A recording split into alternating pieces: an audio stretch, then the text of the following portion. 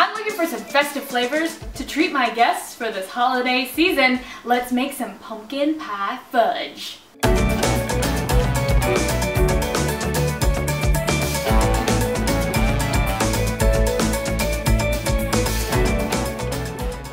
This fudge has a ginger snap crust. So to begin, I just went out and bought some ginger snaps already pre-made in a box. Went ahead, put them in my blender, mix them up. So pour this right on into your bowl, or I have actually an 8x8 um, cookie tray, and I lined it with some wax paper because we're gonna lift it out later. Pour some sugar in there. Just mix up those ingredients.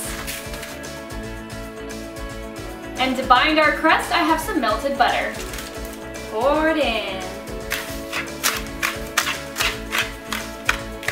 All right, now we just use our fingers and smush that crust down.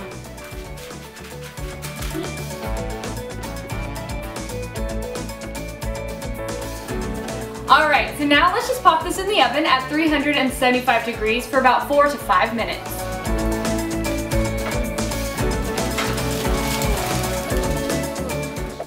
Our ginger crust is done. Oh, it smells so good.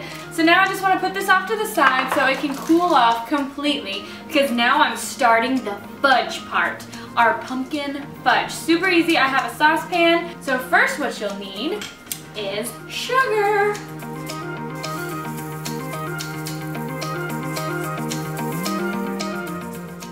Next, evaporated milk.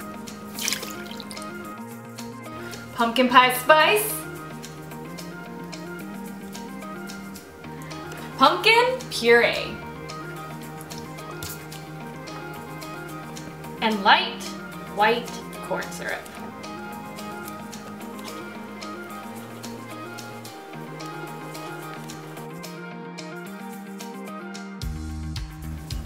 Butter.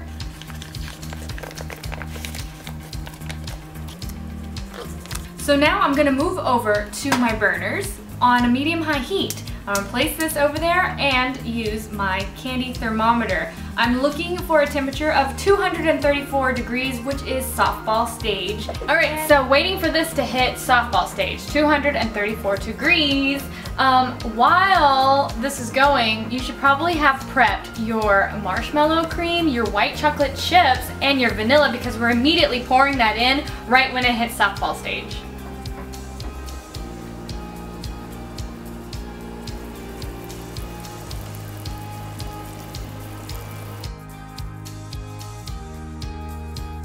It's really hot, so be careful. But now I'm gonna be adding my white chocolate chips. Ooh. Marshmallow cream, oh yeah. Dump in that whole bucket.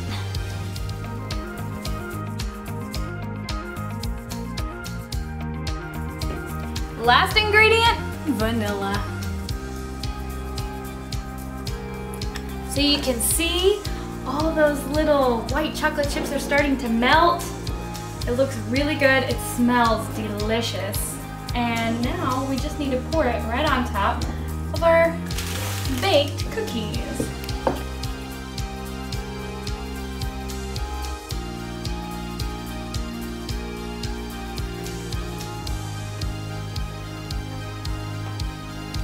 Find some room in your fridge.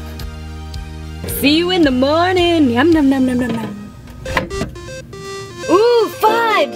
Let's cut you up. Yum.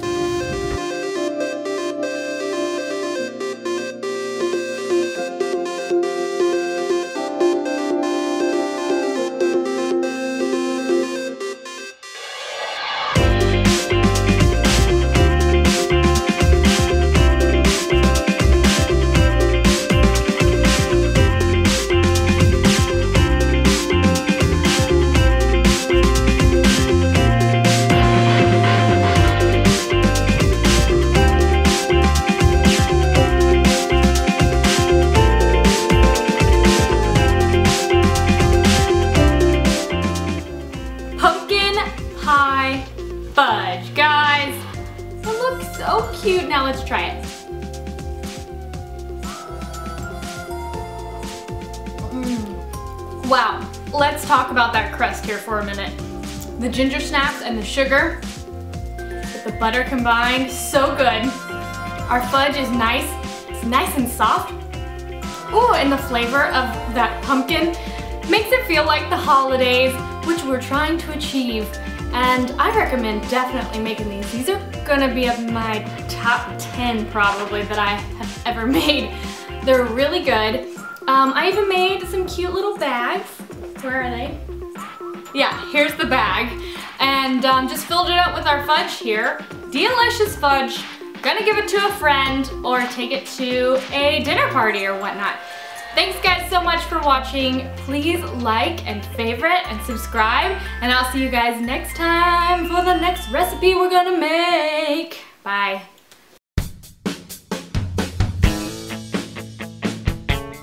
Cake Talk, Cake Talk. Okay guys, it's been two weeks since I did the last Cake Talk and I didn't forget about you, I promise. Right here, I've got last week's Cake Talk comments and I asked you, who scares you when you are trick-or-treating? Of course, mine are clowns. How creepy is that? Some of you guys were mean in your comments, so.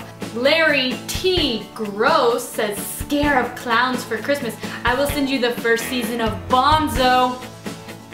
Mean. Ellie Guadalupe said clown costumes. Um, Felice Mer said Bloody Mary.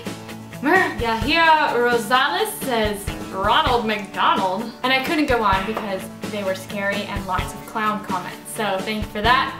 So this week's question, leave me a comment on Thanksgiving's coming and um, are you going anywhere for Thanksgiving? Are you going to see your grandparents? Are you going to your parents' house? Going to a friend's house? Leave me your comments. Can't wait to read them. And one quick little update. I would love, love, love, love, love, love, love your help. I need your help by voting for me. I happen to be nominated uh, for a Tasty Award in the category of Best Home Chef in a Web Series. So please follow the link below. It's right down there. Click it. Go to the very bottom of the page. It's about two thirds down and you'll see my category, Best Home Chef in a Series. And please vote for me and a lovely lady cakes. Thank you guys so much and I'll see you next time for the next Cake Talk and Lovely Lady Cakes. Bye!